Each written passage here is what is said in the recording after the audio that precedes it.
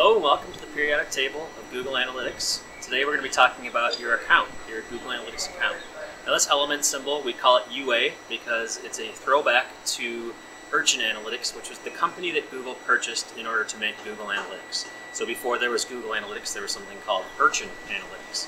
Now this video is a beginner level because we're just talking about the basics of setting up your Google Analytics account. And many of you have probably already either set up an account or have an account in place for you.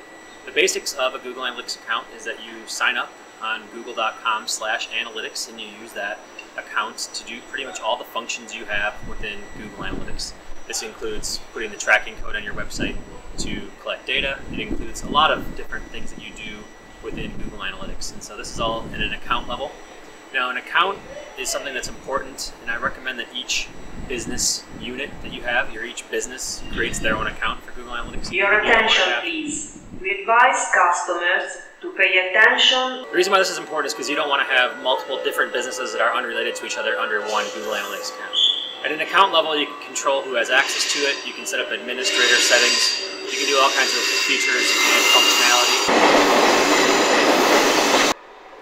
So I'm not sure if you noticed during this video, but there might be some trains in the background present. We apologize for the inconvenience. So my pro tip for accounts is to recognize what your account number is by doing a view source or just looking at the source code of your website and trying to find the UA number, UA dash whatever your number is. That's how you can tell what your account number is. The thing that you want to be aware of with, with accounts is that they may have, you might have had an account that's been around for a long time, might have been collecting data. Just make sure that the account has been collecting data and that you have proper access to it for whatever company you're involved with.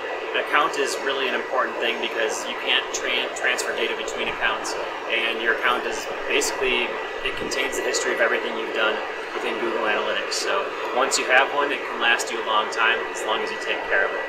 For more on the periodic table of Google Analytics, visit jeffalytics.com and take a look at the periodic table, or visit our YouTube channel, or click on one of the